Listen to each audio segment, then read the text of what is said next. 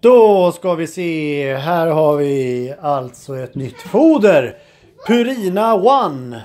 Eh, dog. Hej Kevin! Hej, ska vi testa nya hundmaten?